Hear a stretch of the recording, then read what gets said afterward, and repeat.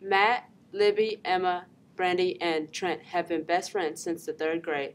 It's a random Thursday in the spring of their freshman year, and Chad, a popular sophomore, is having a party on Saturday. Last time at Chad's party, everyone was there, including some of Trent's new friends. These new friends, Trent drank a little too much and got into some drugs that were more intense than he expected. A few weekends later, Chad is hosting another party and Trent is dying to go. Hey, did y'all hear about Chad's party this Saturday? This is the first I've heard of it. Sounds fun though. Yeah, you'll definitely be seeing me there. Emma? Libby? Uh, I'm not so sure. Yeah, maybe we should all go and eat or something instead. Why? What's the issue? You know what happened last time? It was one time. I don't think Trent is that dumb. I don't know. I think he needs to be careful. We should all just not go. Yeah. Alright. Okay. Matt and I have decided not to go. How about we all just hang out instead? Yeah, that works for me. Good idea. How about pizza? What? No, I already promised the guys I'd be there. The guys? Just some guys I've been hanging out with, like after school.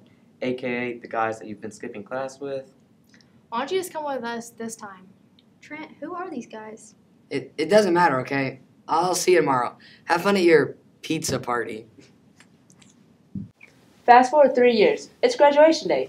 Matt, Libby, Emma, and Brandy are finally graduating. Trent slowly distanced himself from the group and over time developed addiction to harmful drugs. The group hasn't heard from or spoken to him since sophomore year. They are now all at a local coffee shop just hours before the graduation ceremony. I can't believe in just a few hours we'll finally be graduating. And then college? Oh. Honestly, I can't believe we all made it. Hey! He doesn't mean us. He means How long has it been? Sophomore year? I can't believe it's been so long. Do you think he's graduating? I doubt it. He had to repeat 12th grade because he failed all his classes. We should have done more to help. This isn't anyone's fault. These substances are designed to take control of your life. What about his parents? Didn't they realize? Well, he was close with his mom. She used to love when we come to visit. He shut them all out. Started hanging around with the wrong crowd. It's scary to think your whole life can be flipped upside down with just one choice. It's fall break of their sophomore year of college. They all end up at separate schools, so it's always great to reunite. However, this time, they are all gathered for a much different reason. Brandy found out that Trent overdosed and passed away Friday night.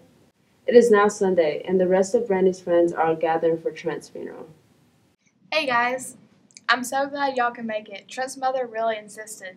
It was a nice service. I'm not sure what to say. It's all still so new to me. I think we all just need time to process what's going on. Are we sure it was an overdose? The doctors were pretty sure of it themselves. I wish we could go back in time and make sure Trent made the right decision. If he had, who knows where we would all be now. There's actually a program at my school called YPC. It's basically an organization to help those struggling with substance abuse um, and to give them the resources they need. All we can do now is help those who are still here to not go down the same path that Trent did. If you know of anyone in a situation similar to Trent's, reach out to a member of YPC, teacher, parent, or any other trusted adult immediately. You can also go to drugfreewilco.org, ichooseme.net, or onechoiceprevention.org for additional resources. It doesn't matter the size of the situation or the level of danger they could be in. Say something. We are begging you to speak up. Help them. Who knows?